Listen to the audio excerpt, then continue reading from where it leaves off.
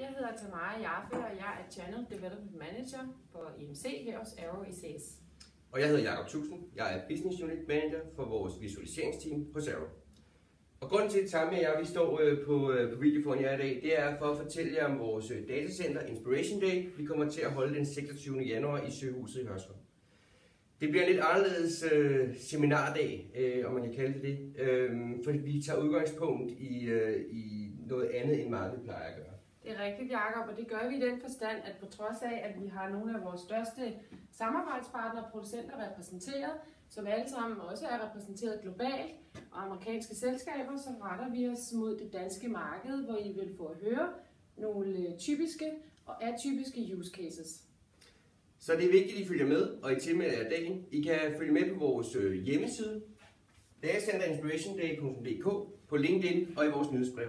Så øh, vi ses! Vel mødt!